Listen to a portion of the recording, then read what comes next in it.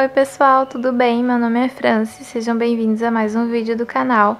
No vídeo de hoje eu vou ensinar vocês a fazer esse ponto diferente aqui, que ele se chama escada de Jacob. Ah, eu vou usar para esse trabalho então dois barbantes, o verde e o branco, só para dar um contraste. Eu só vou fazer um ponto de amostra, não vou fazer nenhum trabalho, nenhuma peça específica. E os dois barbantes é do mesmo número, número 4, e vou usar a agulha número 2. E a tesoura para cortar as linhas. Espero que vocês gostem. Bom, pessoal, eu vou iniciar com 22 correntinhas. Uma, duas, três, quatro. Eu vou continuar aqui e logo volto até completar esse número de correntes que eu passei para vocês. Agora volto, conto três correntes e na quarta eu faço um ponto alto. Essas correntes vão representar um ponto alto, então com mais esse dois e então a gente vai fazer mais três pontos altos, totalizando cinco e um para cada ponto da nossa carreira base.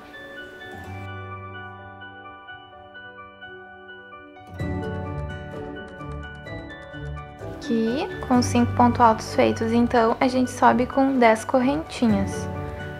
Duas, três, quatro, cinco, seis, sete, oito, nove, dez. Agora a gente vem nesse mesmo ponto alto aqui, nesse último ponto alto, e vamos juntar essas correntinhas aqui com um ponto baixíssimo. Ficar assim. Agora, a gente vai fazer mais cinco pontos altos, um para cada ponto da nossa carreira base.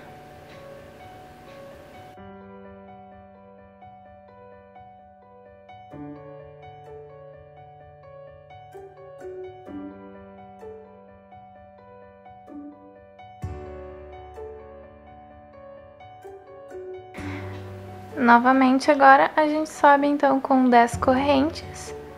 Duas, três, quatro, cinco, seis, sete, oito, nove, dez. E então, voltamos nesse nosso último ponto alto com a nossa agulha aqui e vamos unir essas correntes com um ponto baixíssimo.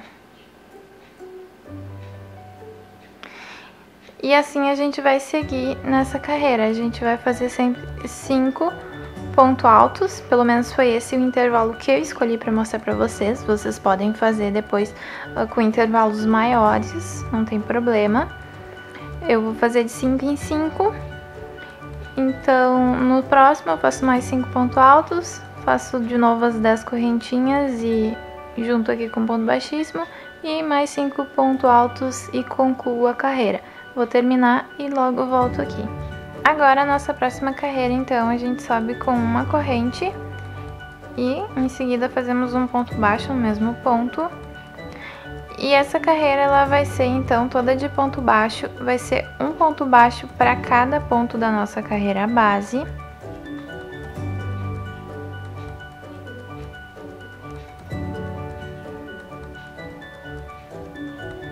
Sem nenhum mistério.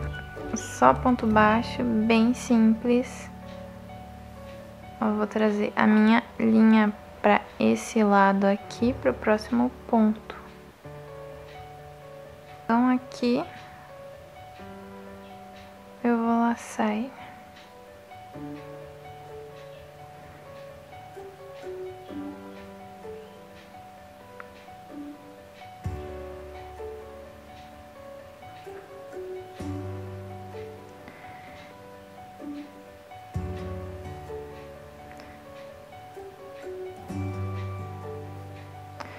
E assim a gente continua até o final. Bom, terminei a carreira de ponto baixo e agora para dar um certo contraste eu vou trabalhar com a linha verde. Então eu subo com as três correntes para dar a altura do ponto alto, faço mais quatro pontos altos, um para cada ponto da carreira base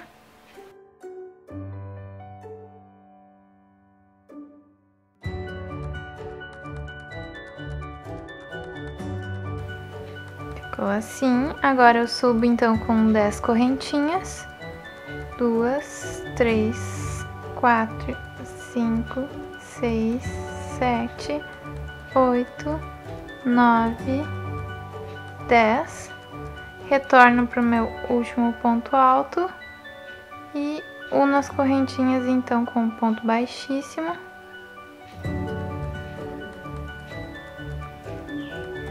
Novamente agora faço mais cinco pontos altos, um para cada ponto da carreira base. E sigo fazendo então com essas correntinhas a cada cinco pontos altos. Bom, tá ficando assim, olhem. Agora novamente eu vou voltar com a carreira de ponto baixo. Então subo uma correntinha e vou fazer um ponto baixo para cada um dos meus pontos da carreira base.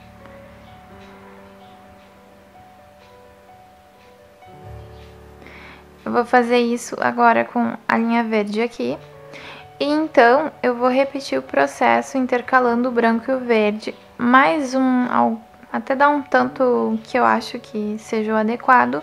E daí eu volto aqui para mostrar para vocês o próximo passo. Eu vou seguir fazendo então mais um pouquinho e em breve eu volto aqui. Gente, fiz mais um pedaço então aqui. Agora a gente vai para a parte mais simples, que eu acho que é essa aqui.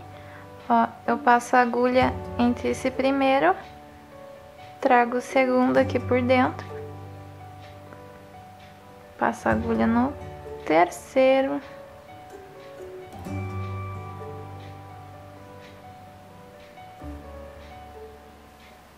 E passo aqui por dentro.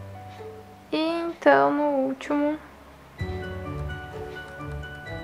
E ele vai ficar assim, ó. Por isso que eu quis fazer de duas coisas diferentes para dar para mostrar bem assim como fica o contraste. Agora esse aqui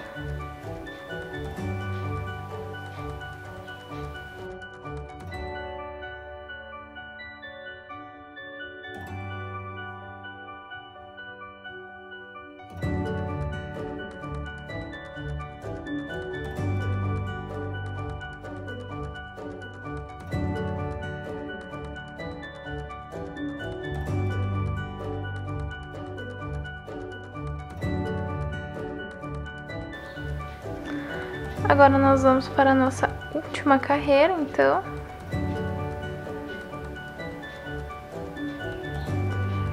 Ficou assim. Bom, quando a gente está chegando ao final, então, já fez esse processo de juntar a escadinha. Agora a gente vai se encaminhar para nossa última e penúltima carreira, que vai ser exatamente, praticamente a mesma coisa, sem as correntinhas. Eu vou fazer três correntinhas para dar a altura do ponto alto. E então, em cada um dos pontos da carreira base, eu vou fazer um ponto alto. Toda essa carreira vai ser de ponto alto, então...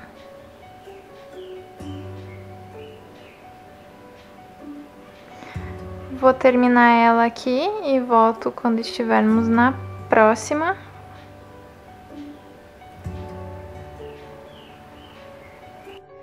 Gente, eu fiz a carreira então de ponto alto. Agora eu vou subir com uma corrente. E nesse mesmo ponto vou fazer um ponto baixo. Vou fazer mais quatro pontos baixos. Na verdade, vamos fazer mais três.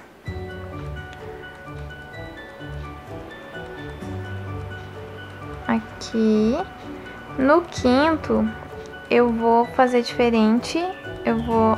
Tá vendo que esse é o último, a última argolinha, né? Vou passar minha agulha por dentro dele. E daí eu pego a linha pra ele ficar também levantadinho. Que nem os outros. Nesse aqui também eu vou fazer a mesma coisa.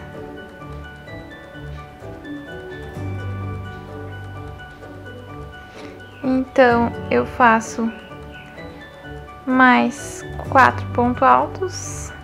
Na verdade, eu fiz cinco aqui, então já fiz dois, tem que totalizar cinco.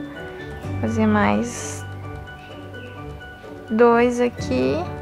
E no quinto, a gente vai passar por dentro da argolinha. Aqui está ela.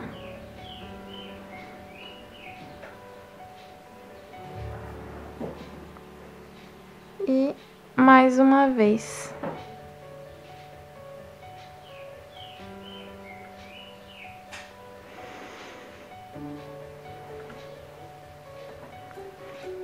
Mesma coisa aqui, faço mais três pontos baixos.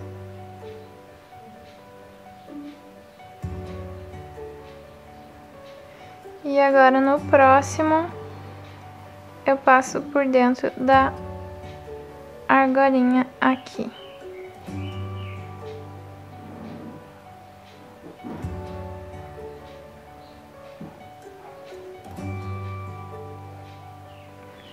e o próximo também.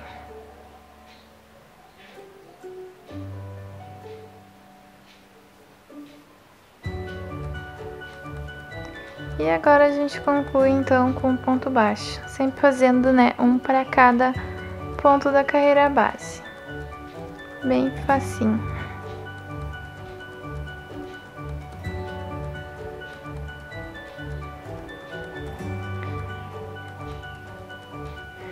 E vamos virar e ele ficou assim, ó. O acabamento aqui. Dá pra dar uma ajeitadinha nele aqui. E é isso aí. Bem simples, bem... É um ponto bem legal que a gente pode fazer, tanto pra bolsa, com uh, tapete, jogo de banheiro. Dá pra fazer umas coisas bem diferentes com ele. E ele é bem fácil de fazer, como vocês viram. Então, se gostou do vídeo, deixa seu like, se inscreva no canal. E caso vocês queiram ver mais vídeos assim, ensinando pontos diferentes, uh, deixem muitos likes, que daí eu vou trazer mais vídeos assim, porque eu vou saber que vocês gostaram. Então, obrigada por assistir até aqui, um grande beijo e até o próximo vídeo.